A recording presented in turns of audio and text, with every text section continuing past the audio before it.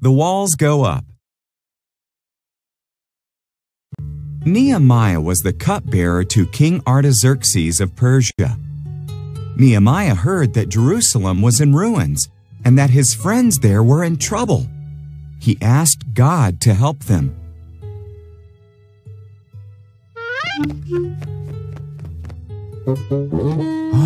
Oh. Uh,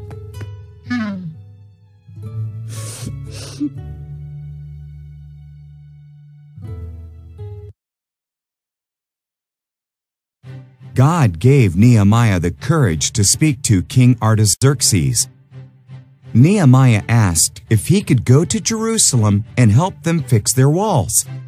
Artaxerxes agreed. Nehemiah left for Jerusalem.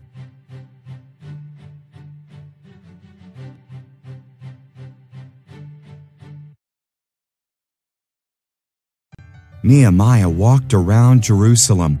Things were even worse than he'd heard.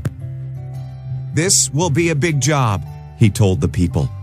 But with God's help, we can rebuild these walls.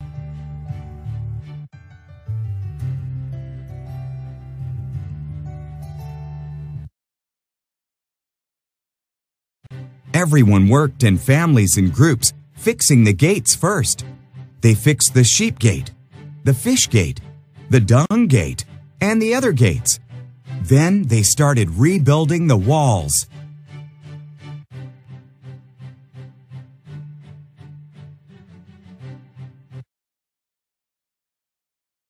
First, their enemies laughed. But as the walls grew higher, those enemies prepared to attack.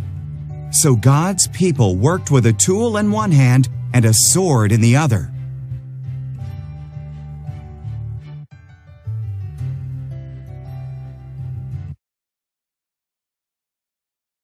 After just 52 days, the wall was finished. Ezra the priest read God's law to the people. They promised to obey God's law and praised Him for protecting them.